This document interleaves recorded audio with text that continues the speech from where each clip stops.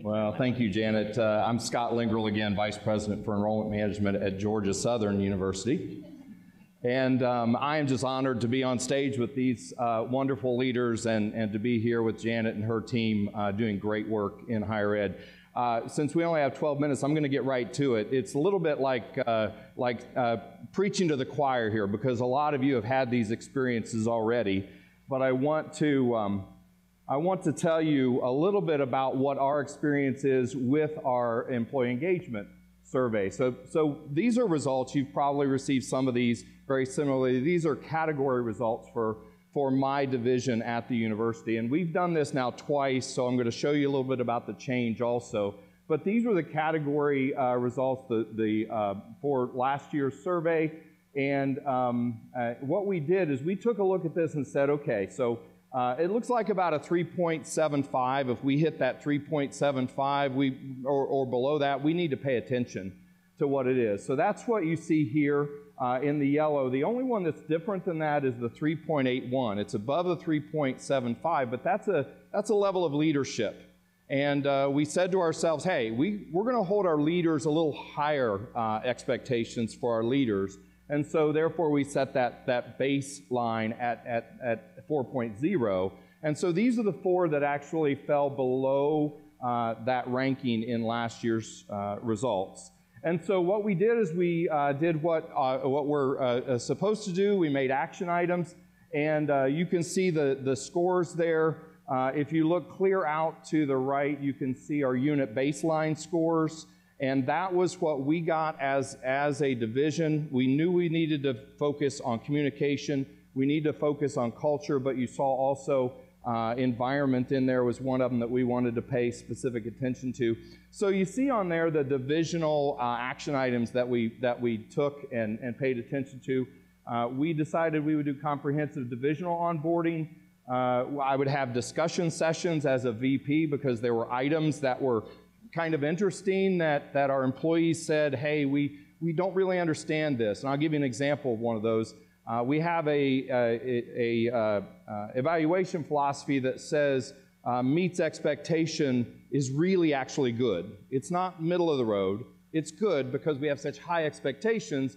We want to meet expectations. If you meet expectations, that's great. Well, our employees didn't quite think that, right?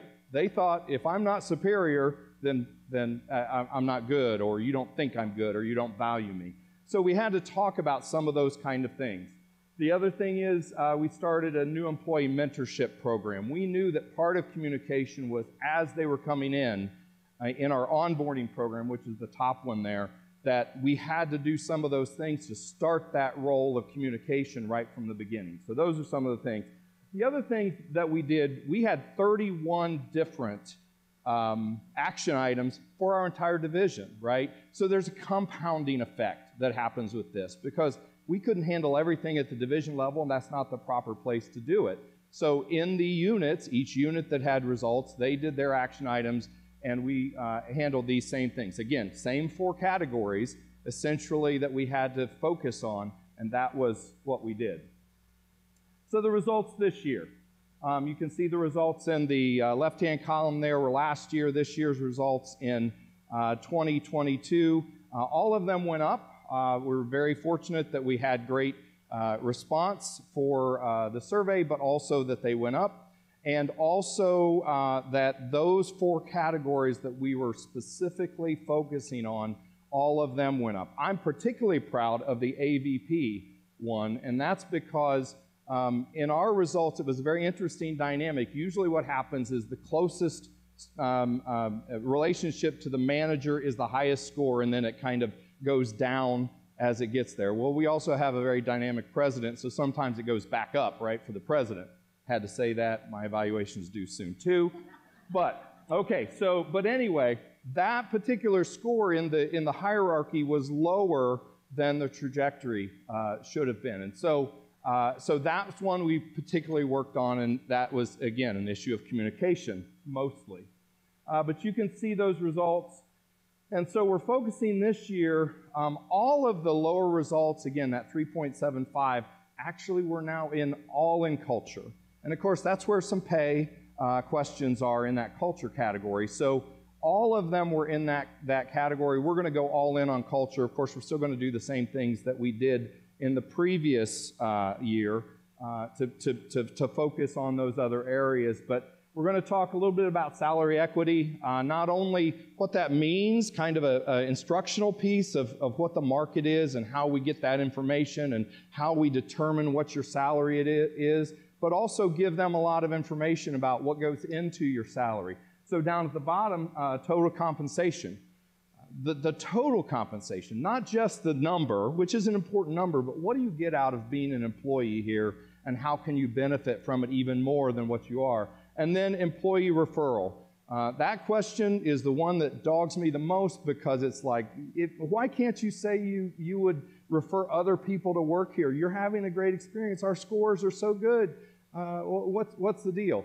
Well, there's something in the culture there, and we're going to talk a little more about that more specifically and not use it as an experiment, you know, the experimental design of we're going to do something and see if the scores change.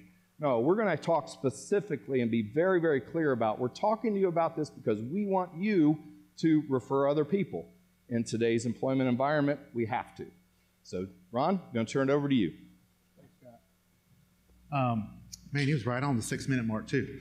Um, but yeah, thank you. And as Scot mentioned, this is our second year um, going through the employee engagement survey, and I can tell you, um, it, by going through this survey, it, it really creates a, um, a, foundation of trust that I think everything else is built on. Um, and I think you're starting to see that with some of the uh, some of the additional scores that we saw this year. Just like Scot, all our scores increased. You can see we had a lot of uh, opportunities for improvement um, between a communication executive leader and, and culture. And I'm happy that the, the team was um, fully engaged to be able to move those needles as much as they can. I can assure you that unless you're fully integrated from a team perspective, implementing your action plans, holding each other accountable, scores won't move as much as they are right there. So I'm extremely proud of our team as they went through that. And as I mentioned, this is our second year of um, going through the engagement survey. And I think about the opportunities that we had in our first year and second year. And I really think they're, um, they're, they really can be boiled into these three buckets right? Communicating our intentions, conversation and engagement at all levels, and insights into needs and expectations. I think one of the things that hit me true um, when we started implementing our engagement survey was uh, it really allows us to put our vision statement into action. Our vision statement is people, purpose, action, growing ourselves to grow others. And as you go through your engagement survey, it really puts your vision statement into action. And when we talk about communicating our intentions, um, it really allows us to um, engage people at all levels within the organization, hear from them as far as what's working, what's not working, but also give them an opportunity to participate in the process. So, um, really ex- excited about that this past year.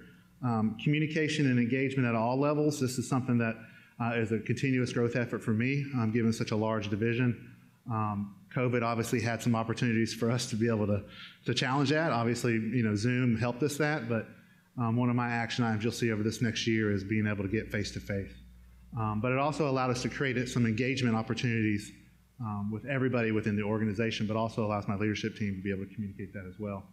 Insights into needs and expectations as you go through this engagement journey and implement your action plan. It allows you to communicate at all levels within the organization and really helps you as a senior level leader to be able to communicate what it means to be a leader, what it means to be an employee within your division but it also allows you to kind of listen to some of the challenges that you currently probably have blind spots on or have never seen. So, um, really, really powerful stuff. But our results this year um, really continue to build on those opportunities um, to be able to create those horizontal relationships within our organization, just not the vertical ones. Um, more visibility from leadership, as I mentioned, getting out and about, um, being able to have FaceTime in smaller groups. Uh, professional development, career opportunities. As we created these groups for us to engage in, it allowed us to really um, create some leadership training in those specific groups, and it's um, something we're going to continue to build on. Um, and then recognition is it's more of a, a, a, thing for me. I need to do a better job as it relates to recognizing good work um, as I see it. But this is really what I want to talk about is some of the other outcomes when you have a more engaged team. Um, I think a more engaged team, what I've seen over the past two years, it's sparked innovation um, in certain areas within our organization. we, it embraced uh, efficiencies right? And, a, a, more engaged team that is, uh, that is informed on processes, all processes, not just in their unit, a more engaged team that's informed on budget um, will embrace opportunities um, for efficiency and not necessarily historically go and try to delegate those hard decisions up to executive leadership. So really, really proud of that. And in some of these cases, we've had some um, we've had some really creative um, units um, being able to find those efficiencies in their own individual unit and being able to have some, uh, additional savings within their budget that we can reinvest back into our people to, to continue to retain them. Um, but really, really proud of the innovation and the mindset and the other items that we have. Um, so as we move forward um, with the implementation of our action plan, um, as I mentioned, we're going to continue to do face-to-face rollouts. Our rollout plan, which will happen in the next two weeks, um, we will um, be doing smaller groups. So we're not even doing Zooms.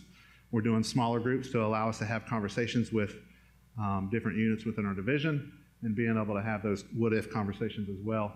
Um, continue to have those um, accessible engagement opportunities um, at all levels within the organization and intense focus on relationship building because we I am 100% confident guys that there is hidden talent within every organization and I can tell you that the more I engage with all levels of the organization I found it right I found some of that hidden talent that exists in the organization and me as a personal leader it it it, it creates a hunger inside me to grow that talent right because as we all know it's extremely extremely difficult to recruit talent and I promise you, you have talent within your own organization that if you just engage them, you'll find it. And that is it. Yep.